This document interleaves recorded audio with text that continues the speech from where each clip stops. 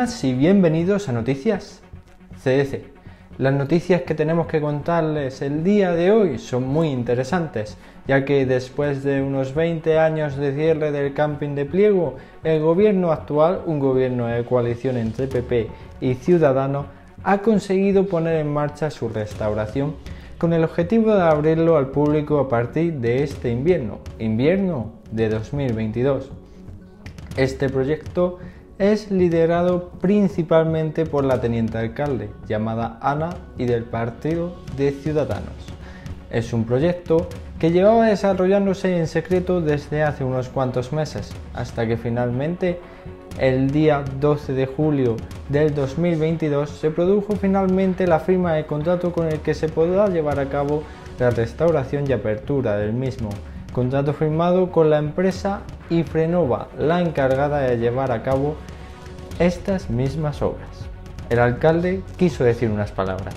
Estamos muy contentos de que por fin, después de todo el trabajo y el esfuerzo, el camping sea una realidad hay que darle las gracias a Ana Belijar, primera teniente alcalde y concejal de turismo, por su total implicación en este proyecto y por hacerlo posible. Ana Belijar tampoco se ha cortado y ha dicho unas palabras. Que sea capaz de, de empleo y que sea capaz de, sacar ese nombre adelante. Y, y quiero agradecer desde aquí que desde el momento que yo le pedí ayuda, pusimos en marcha para que ¿Qué puedo decir? Que, muchísima suerte y cualquier cosa que necesitéis, aquí el apoyo del ayuntamiento, creo que no va a faltar nunca. Y, nada más, que súper contento de por fin ver esto hecho una realidad, después de tanto tiempo que llevamos trabajando.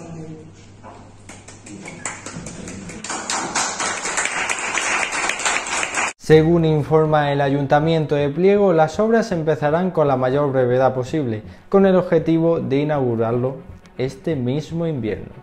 Según se lleva a cabo esto, el gobierno de Pliego podrá tachar por fin de su lista lo que tantos años llevaba esperando hacer, ya que también es uno de los principales objetivos de esta legislatura.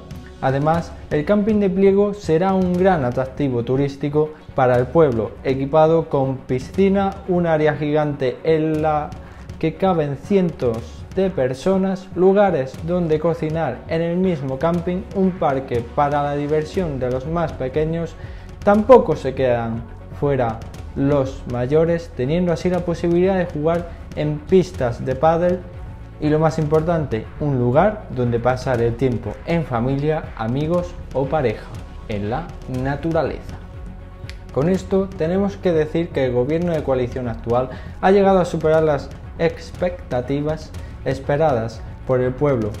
Siempre se decían muchas promesas políticas en todos los partidos y muchas no llegaban a cumplirse, pero se podría decir que esta coalición ha favorecido al pueblo y que esperamos que siga siendo así hasta el final de la legislatura y en el caso de que volvieran a ganar las elecciones, también. Así que nada, sigan con nosotros y les seguiremos informando sobre esta y muchas más noticias conforme vayan sucediendo. Muchas gracias por vernos y aquí despedimos Noticias CDC.